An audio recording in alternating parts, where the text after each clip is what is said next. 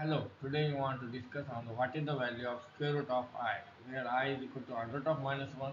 it's imaginary number, then how to find out the value of square root of i. For that, we are taking the e raised to i theta is equal to cos theta plus i sin theta, where theta is equal to pi by 2,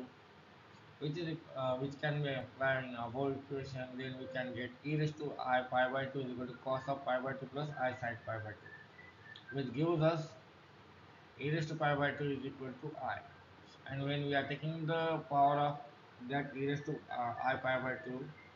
as a square root then we can write it as a e raised to pi by 2 uh, uh, raised to 1 by 2 is equal to e raised to i pi by 4 which is equal to cos of pi by 4 plus i sin pi by 4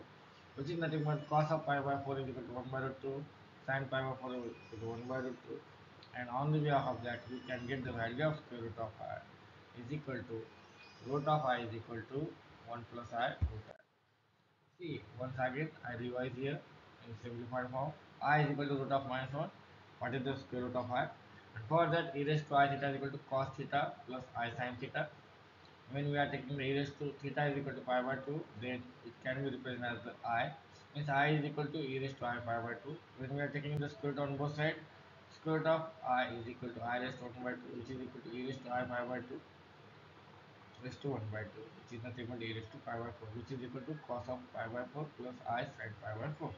means we are substituting e raised to i theta as the theta is equal to pi by 4 and on simplification we get the square root of i is equal to 1 plus i divided by